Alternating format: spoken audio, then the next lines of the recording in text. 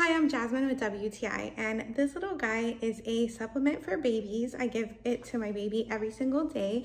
It is a probiotic and vitamin D supplement. It's called Immune Active from BioGaia, and I just love how it comes in this tiny little container, but it still has 50 servings, which is gonna last you a while and not take up too much room. It's also really easy to give to my baby. I just shake it for 10 seconds like it tells you on the back label and give him five drops in his bottle.